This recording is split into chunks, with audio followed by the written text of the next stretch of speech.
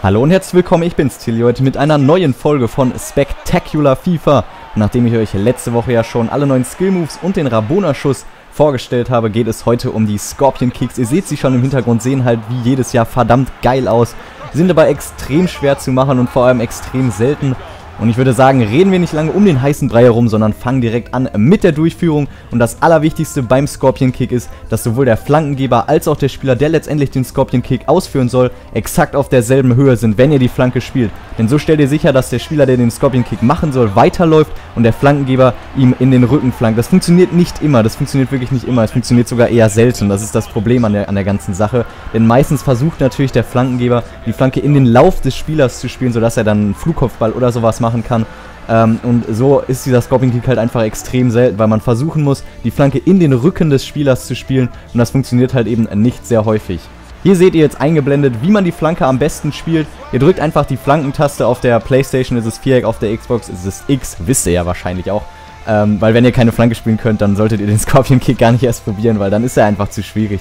Ähm, dann seid ihr nicht auf dem äh, richtigen Level dafür, würde ich behaupten. Und in FIFA 15 war es immer so, dass ich die Flanken halb hoch gespielt habe, also die Flankentaste doppelt gedrückt habe.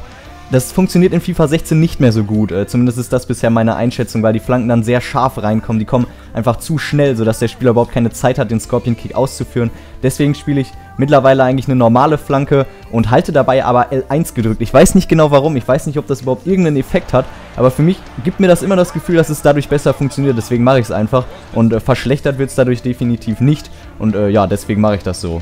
Wenn ihr es dann also geschafft habt, den Ball erfolgreich in den Rücken des Spielers zu spielen, dann haltet L2 oder LT auf der Xbox gedrückt und haut einfach auf die B-Taste so oft wie ihr könnt. Manche sagen einmal genügt, aber ich habe immer das Gefühl, dass wenn man öfter drückt, dass es dann häufiger funktioniert. Ich habe jetzt 5 Scorpion Kicks, glaube ich, gemacht.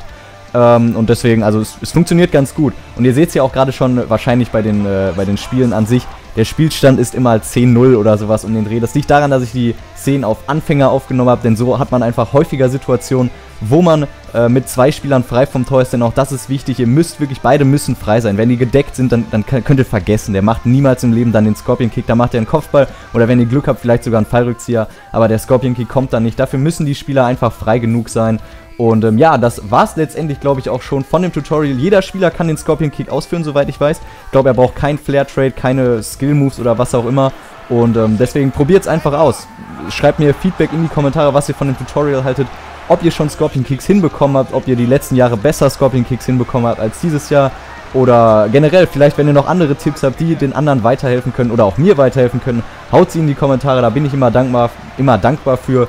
Und ähm, ja, wenn euch das Video gefallen hat, gebt einen Daumen nach oben, abonniert unseren Channel, wenn ihr das noch nicht getan habt. Und dann sehen wir uns beim nächsten Mal. Haut rein, Leute. Ciao. Hallo und herzlich willkommen, ich bin's, Tilly, heute mit dem ersten FIFA 16 Tutorial. Ja, es werden noch einige kommen, aber heute schauen wir uns zunächst mal die neuen Skill Moves an